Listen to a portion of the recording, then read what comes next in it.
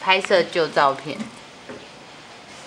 这个是麒麟隧道打通家运客运通车。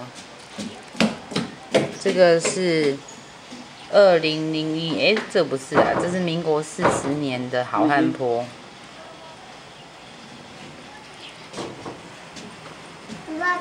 静乐旅社。好汉坡。一九三零年的关子岭全景，哎，这是假的吧？他们穿和服。这个是关子岭旅社。哦。这是现在停车场，他这边走过来会走到金乐区。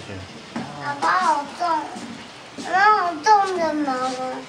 所以你不能打开啊。那有谁呀？关子岭体育会进会。关子岭神社在哪里啊？在这里。哇！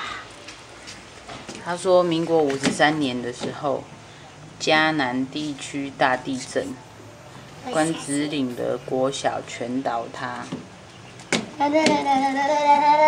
爸爸看这边。好，ending。